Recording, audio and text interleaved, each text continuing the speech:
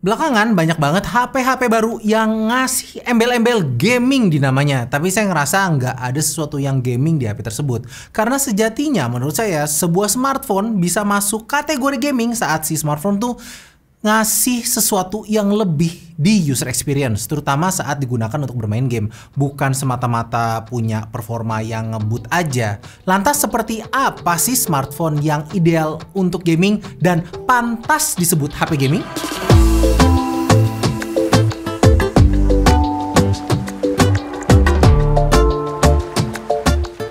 Indonesia ada dua HP resmi yang menurut saya pantas disebut sebagai HP gaming. Ini adalah ROG Phone 3 dan Black Shark 3. HP gaming yang menurut saya beneran gaming. Saya bisa bilang HP ini adalah HP gaming karena kedua HP ini memenuhi kriteria untuk jadi sebuah perangkat gaming.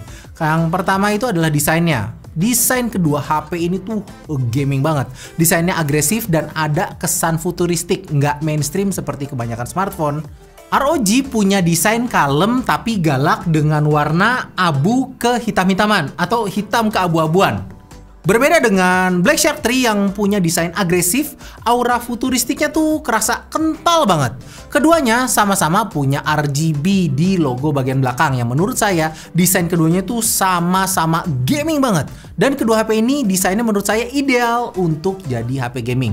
Selanjutnya adalah layarnya. HP gaming harus punya layar dengan warna yang bagus, respons layar yang tinggi, refresh rate yang tinggi, dan brightness yang tinggi juga. Semuanya tinggi kayak dolar. Dan kriteria itu bisa kita dapatkan di ROG Phone 3 dan Black Shark 3. Layar ROG Phone 3 ini lebih kecil dibandingin sama layar Black Shark 3. Hanya saja, layar yang lebih kecil ini tuh punya spesifikasi yang lebih tinggi. Kedalaman warna layar ROG Phone 3 ini mencapai 1 miliar warna, lebih tinggi dari Black Shark 3 yang hanya 16 juta warna aja. Tapi secara kasat mata karena ukuran layarnya kecil, kita tuh nggak akan bisa bedain mana layar yang uh, semiliar warna dan warna yang 16 juta. Refresh rate ROG Phone 3 ini mencapai 144 Hz, lebih tinggi dari Black Shark 3 yang hanya 90 Hz. Sekali lagi, secara kasat mata akan sulit membedakan mana 144 Hz atau 90 Hz kecuali kita main game yang secara native support layar 144 Hz seperti Real Racing 3. Kalau cuma dipakai main game FPS macam PUBG Mobile atau Sih ya menurut saya nggak akan kerasa beda. Kedua HP ini tuh sama-sama enak dilihat dan sama-sama enak dipakai buat main game tersebut. Jadi menurut saya kedua layar HP ini tuh ideal sebagai smartphone gaming. Sekarang lanjut ke bagian hardware. Sekilas kedua HP ini punya hardware yang mirip, tapi ternyata berbeda loh. Karena CPU ROG Phone 3 ini lebih ngebut dibandingin sama Black Shark 3. Jika Black Shark 3 ini punya kecepatan sampai 2,8 GHz, maka di ROG Phone 3 ini punya kecepatan sampai 3,1 GHz. Walau memang hanya sebatas angka, nyatanya kecepatan bisa berpengaruh terhadap user experience. Di mana dengan kecepatan yang tinggi, semakin banyak game yang bisa dimainkan. Terutama game-game yang boros boros resource dari prosesor. Dengan harga yang sama, menurut saya ROG Phone 3 ini bisa jadi pilihan yang lebih baik dari Black Shark 3. Walau begitu, menurut saya kedua HP ini tetaplah ideal sebagai smartphone gaming. Nah, satu hal yang membedakan smartphone biasa dengan smartphone gaming adalah soal teknologi cooling. Hardware di smartphone gaming diharuskan bekerja lebih berat dibandingkan smartphone biasa. Itulah kenapa dibutuhkan teknologi cooling yang khusus untuk dapat meredam panas yang dihasilkan oleh smartphone gaming tersebut. ROG Phone 3 punya teknologi pendingin bernama Game Cool 3. Teknologi ini menggunakan Advanced 3D Vapor Chamber dengan ukuran heatsink yang besar. Teknologi ini diklaim efektif menghilangkan panas saat CPU bekerja secara maksimal. Alhasil, saat bermain game, si HP tuh terasa lebih adem.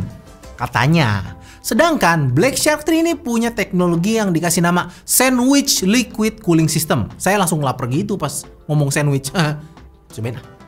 Ah, nggak enak. Anyway, sesuai dengan namanya, teknologi cooling mereka tuh memiliki desain bertumpuk seperti sandwich. Jadi komponen-komponen penting di HP ini tersebar di dua papan PCB yang terdapat dua pipa liquid di kedua sisinya. Sistem ini diklaim bisa meningkatkan efisiensi pendinginan sampai 50%. Kedua sistem pendingin di kedua HP tersebut memang terlihat keren ya. Tapi yang bikin lebih keren lagi adalah aksesoris tambahan yang bikin si HP jadi semakin dingin. ROG Phone 3 punya Aero Active Cooling yang kerennya tuh sekaligus hub buat port Type-C dan jack audio. Dengan desain yang kayak begini, kita tuh bisa main sambil ngecas dan pakai earphone tanpa ganggu handling tangan kiri dan kanan. Aero Active Cooler ini nih katanya bisa menurunkan suhu sampai 4 derajat Celcius. Black Shark 3 juga punya aksesoris kayak begini, namanya fan cooler. Memang sih fan cooler ini nggak secanggih Aeroactive Cooler, dia tuh nggak punya jack audio yang bisa dipakai saat bermain game. Posisi jack audio dan port Type-C-nya juga ada di atas dan di bawah HP, di mana posisi ini akan sangat awkward saat dipakai buat main game. Tapi sob, ini cooler ajaib sob. Pas saya coba, buset, ini cooler dingin banget edan. Kayak kulkas dinginnya. Secanggih-canggihnya Aeroactive Cooler, saya tetap merasa fan cooler itu lebih keren dalam mendinginkan si HP. Si HP tuh berasa kayak ditempelin es batu gitu loh sob. Dingin. Kayak perasaan dia ke saya.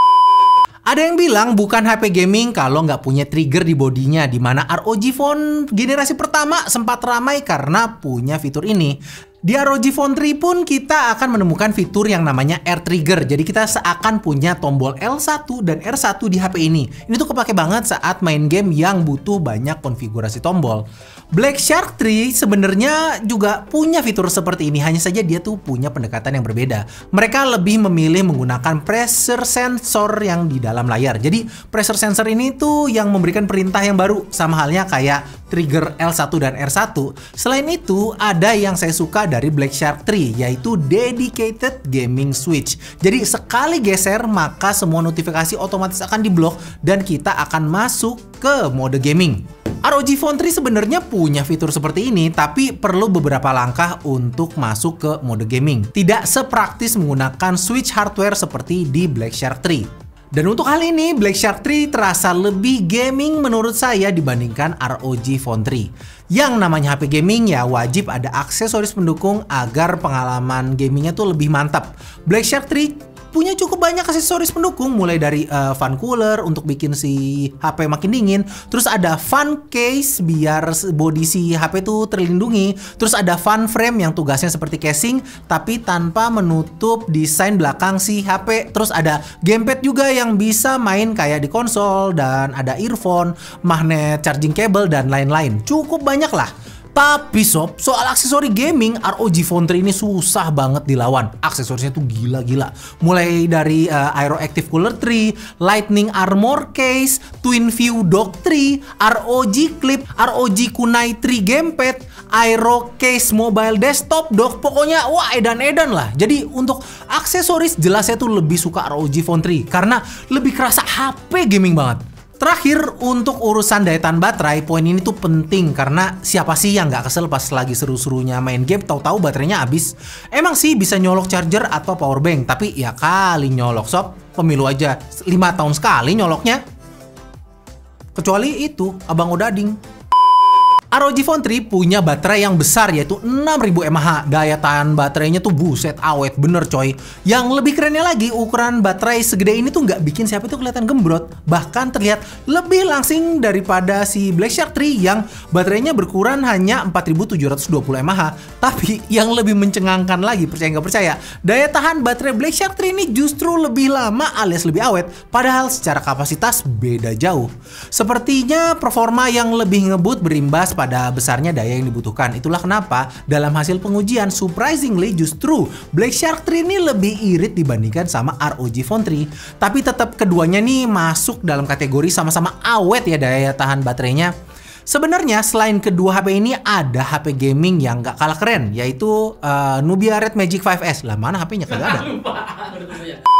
HP ini bahkan punya banyak hal yang tidak dimiliki oleh kedua ROG Phone 3 dan Black Shark 3. Salah satunya adalah kipas pendingin. kipas yang literally kipas ya sob. Kalau panas ya kita bisa denger kalau si kipasnya tuh muter.